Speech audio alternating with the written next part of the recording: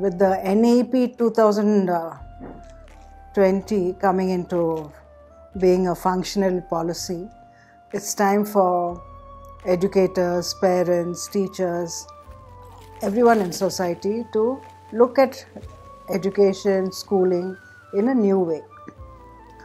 It's time, I think, now every few years we review uh, education, and it's been happening over many years.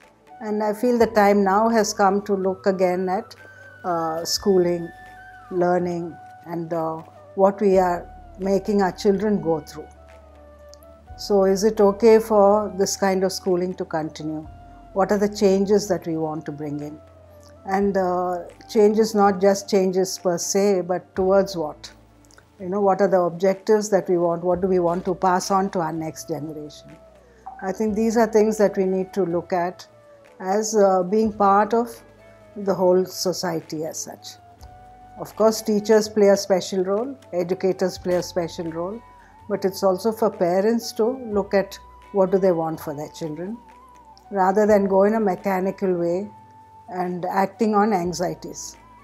Let's step back a bit and uh, review that and uh, explore for ourselves also what we want for ourselves, what we want for our children, what we want for society.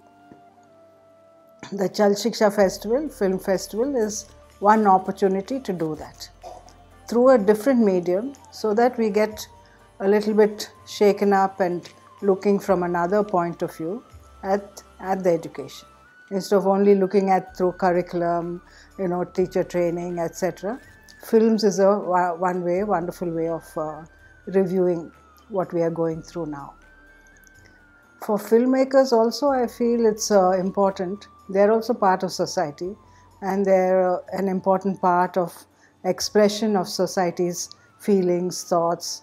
And it's important for them also to look at uh, education also as a as a as a focus for their filmmaking for their own expression and take up stories from the field.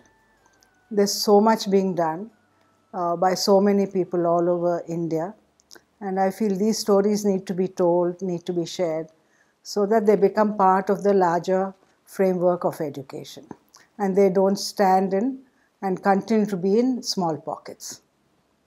So government has taken the step to do something and I think it's time also for us, every individual to step in and say this is what we want and this is how we want our children to be uh, brought up because the majority, the time that they spend in school is uh, the best part of their years. And if we give the best to them, definitely India will be also move towards being a democratic country in a real way, not just you know uh, structurally, but also as a culture to be democratic is uh, is important. Uh, mainly because it's it is a struggle, and I feel that struggle will lead to some action. Uh, the struggle is that uh, we are all used to we grow up in families which are kind of uh, hierarchical or they're patronizing or uh, patriarchal.